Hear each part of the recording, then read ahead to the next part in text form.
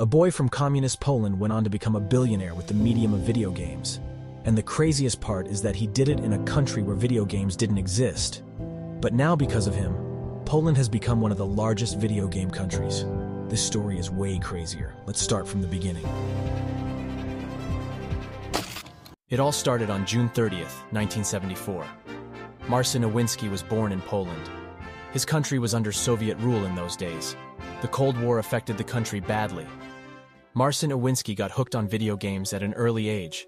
Even though video games existed to almost none in Poland, the illegal market was still there. In the 1980s, the American video gaming market was booming. Every day there was a new game, and people were enjoying themselves and having the time of their lives. During his high school years, Marcin Iwinski began selling pirated video game copies on the Warsaw black market. This was his way of making a side income but he had no idea how this path would change his and his country's fortunes.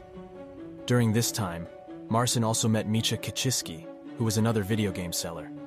They both used to sell cracked game copies, and their friendship became stronger. They had a dream of doing what they loved legally, but during that time it wasn't possible.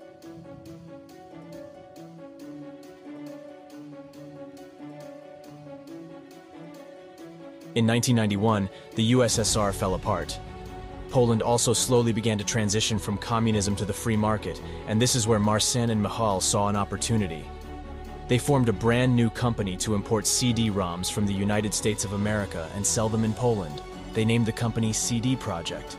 The only problem was that they were broke, so they had to use a friend's apartment as an office.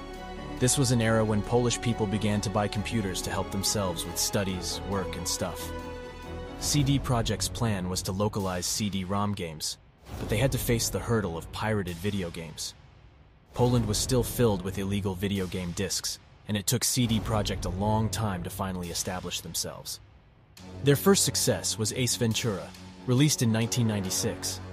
This game quickly gained popularity and helped CD Projekt. This gave them a boost, and they then went to launch Baldur's Gate and many other titles in Poland. They even began to hire local voice actors to increase the quality of the games, Everything was going perfectly for them. But still, something was missing. Something original needed to happen. Marcin Iwinski decided that they would go beyond distribution and produce their own game. So CD Projekt formed another division, CD Projekt Red. According to Iwinski, he and his partner had absolutely zero idea about video production, but they still jumped on it. First, they needed an idea for the game, something that is already popular in Poland and they could save money on marketing costs.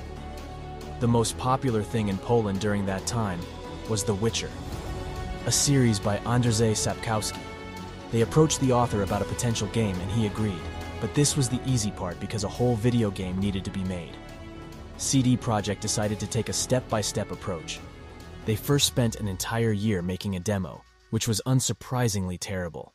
They showed the game to many European publishers, but every single one of them rejected it because of how poorly it was made.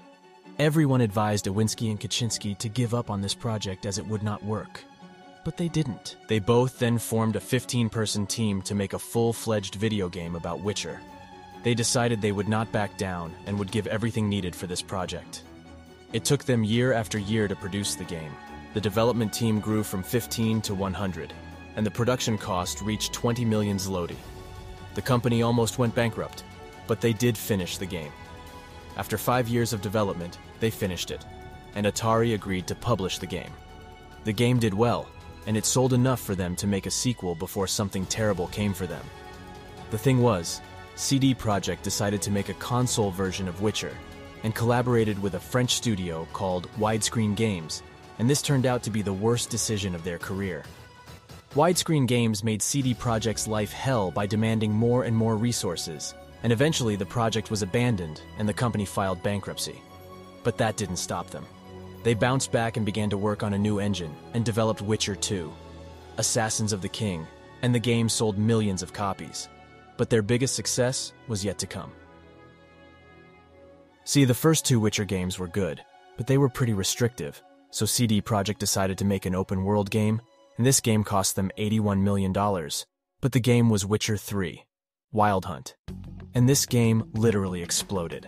It sold tens of millions of copies very quickly and won 260 Game of the Year awards, which was the most in history. Many critics hailed it as the greatest video game of all time. So this was the incredible story of Marcin Iwinski, Michael Kaczynski, and CD Projekt. It's absolutely crazy how a company went from bankruptcy to making one of the greatest video games of all time, while Netflix failed to make a decent series out of it. What are your thoughts about this incredible story? Make sure to comment that down, as well as your personal opinion about Witcher games. I'll see you in the next video. Till then, take care and say goodbye.